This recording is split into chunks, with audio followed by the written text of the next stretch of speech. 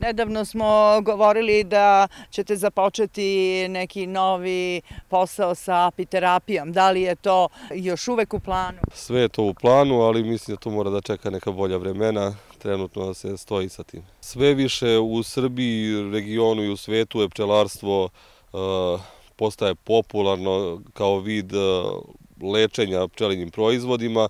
Dosta ljudi se vraća zdravom načinu ishrane, e, i lečenju e, prirodnim e, lekovima, pa između ostalo tu spada i med i pčelinji proizvodi. Mislim da je to budućnost.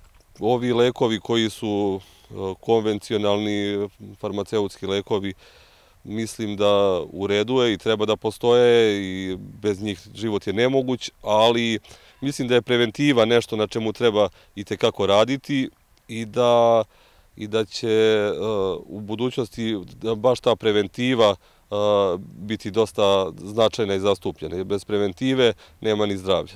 E, kako biste preporučili svim građanima da kako uzimaju med? Moja neka preporuka je da med e, i druge pčelenje proizvode konzumiraju svakodnevno, bez obzira na doba godine. Samo na taj način može da se obezbedi e, da organizam tokom cijele godine bude jak, znači da imunitet e, bude uvek jak tokom cijele godine.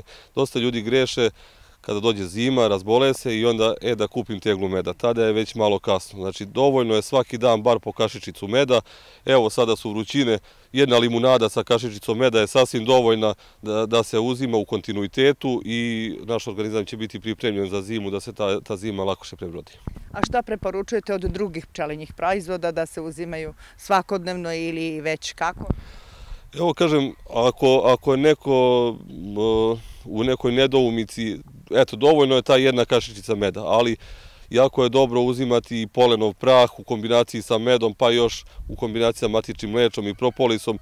Jedna kašičica te mešavine je sasvim dovoljna svaki dan, ali ljudi su nemarni, pa sad je lepo vreme, niko ne razmišlja o, o, o gripu, prehladama i tako dalje. E, tako da mislim, eto, uzeti jednu kašičicu toga dnevno je sasvim dovoljno.